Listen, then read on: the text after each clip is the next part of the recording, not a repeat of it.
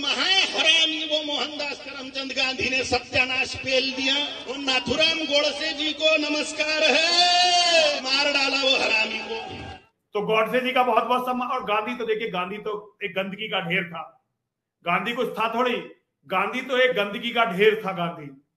अपने परिवार की महिलाओं को नहीं छोड़ा। जो उसके विश्वसनीय साथी थे उन्हें नहीं छोड़ा। मोदी जी कब तक? आखिर कब तक आप खामोश रहेंगे?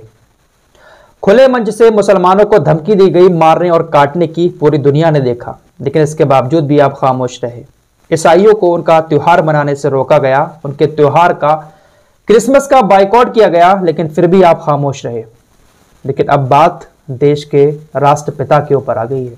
राष्ट्रपिता को गंदी गंदी गालियाँ दी जा रही हैं। राष्ट्रपिता के हत्यारे की जय जयकार हो रही है देश के अंदर, लेकिन इसके बावजूद भी अभी भी आप खामोश हैं। आखिर कब बोलेंगे आप? आज पूरा देश ही आपसे सवाल कर रहा है कि आखिर कब कब आपके मुँह से राष्ट्रपिता को गाली देने वालों के खिलाफ कोई शब्द निकलेगा? कब ऐसे देश के गद्दारों के ऊपर सख्त कार्रवाई होगी? आखिर कब? महात्मा गांधी वही हैं जिनकी जयंती पर आप सुबह सबसे पहले उठकर उनको श्रद्धांजलि देते हैं, जब आप अमेरिका जाते हैं। तो वहाँ के राष्ट्रपति आपको यह कहकर बुलाते हैं कि आप महात्मा गांधी के देश से आए हैं। और आप वहाँ पर जाकर महात्मा गांधी की बहुत तारीफें भी करते हैं। आज भारत जो पहचाना जाता है, वो आपकी वजह से, राहुल गांधी की वजह से या किसी और नेता की वजह से नहीं पहचाना जाता, बल्कि गांधी की वजह से पहचाना जाता है। खुले मंच से उनको क्या क्या नहीं बोला जा रहा है, वो शब्द में यहाँ पर बोल भी नहीं सकता। आज पूरा देश आपसे सवाल कर रहा है मोदी जी कि आखिर कब तक?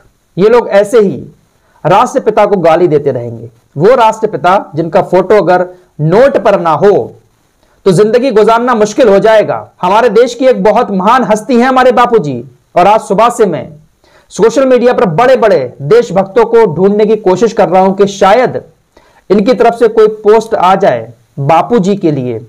बापूजी को जिन लोगों ने हरामी बोला है, उनके लिए, उनको गिरफ़्तार कराने के लिए, चाहे अक्षय कुमार हुए, अमिताभ बच्चन हुए, वीरेंद्र सहवाग हुए, गौतम गंभीर हुए, संबित पात्रा हुए किसी भी देशभक्त की तरफ़ से अभी तक एक पोस्ट भी नहीं आया है कि जिन लोगों ने अपमान किया है, उनको सख्त सजा मिलनी चाहिए। तो फिर ये फर्जी देशभक्ति का ढोंग क्यों दिखाया जाता है? किसी की तरफ़ से भी एक भी ट्वीट नहीं आया है। चलो मान लिया कि मुसलमानों को मारने, काटने की, नरसंहार करने की बातें कही गई थी, तब आपने कोई ट्वीट नहीं किया। लेकिन आज तो ट्वीट करना चाहिए था। बड़े बड़े देशभक्त, रूबिका लियाकत हुई, अंजना ओम कश्यप हुई, कोई भी आपको सोशल मीडिया पर इस मैटर पर ट्वीट करते हुए दिखाई नहीं दिया होगा और किसी ने भी किसी ने भी उस काली चरण को जो बाबा बना बैठा है, उसने जो बापू जी को गाली दी है, उसको लेकर किसी ने नहीं कहा कि इसको जेल के अंदर डालना चाहिए। फ़िलहाल, मेरी एक सलाह है ऐसे लोगों से, इन गोट से, भक्तों से, कि अगर तुम्हें इतनी ही नफरत है बापू जी से तो अपनी जेब में गांधी जी का फ़ोटो रखना छोड़ दो। औकात है इतनी। बिना गांधी जी के तो तुम चल भी नहीं सकते। मैंने एक डिबेट देखी, वो एक अन्नपूर्णा माँ है, वो कह रही है कि हम इसका भी गांधी जी के फ़ोटो वाले नोट का भी बहिष्कार करेंगे, यानी इसको बंद करवाएँगे। मोदी जी, अगर आज आप खामोश रहे तो आने वाला वक्त वो होगा ना, कि ये आपके भी सगे नहीं होंगे। आने वाले वक्त में ये लोग मोदी जी का भी विरोध करेंगे, ये देख लेना। क्योंकि जो भाषण दिए गए उसमें यह कहा गया है, जो धर्म संसद सजाई गई थी कि हमारा जो राजा होना चाहिए, वो बहुत ज़्यादा कट्टर होना चाहिए। कट्टर से मतलब यह है कि जो हमारा राजा हो, वो ऐसा कट्टर हो जो खुले तौर पर मुसलमानों को मारने काटने की बातें कहे, महात्मा गांधी को गाली दे, जो लोग ये चाहते हैं वही करे। लेकिन प्रधानमंत्री तो ऐसा नहीं कहते हैं ना, और ना ही ऐसा करते हैं। तो आने वाले वक्त में प्रधानमंत्री मोदी जी, ये लोग आपका भी विरोध करेंगे। फ़िलहाल छत्तीसगढ़ के अंदर ये धर्म संसद सजाई गई थी। जैसे कि हरिद्वार में हुआ था, इसी तरीके की एक धर्म संसद छत्तीसगढ़ में भी हुई थी। यहाँ पर कांग्रेस की सरकार है। जब ये मामला सामने आया तो जो काली चरण है, जिसने महात्मा गांधी को हरामी बोला था, उसके खिलाफ धारा 204 और 505 में मामला दर्ज कर लिया गया है पुलिस के द्वारा। वहाँ पर कांग्रेस की सरकार है और इसमें सजा पता कितनी है?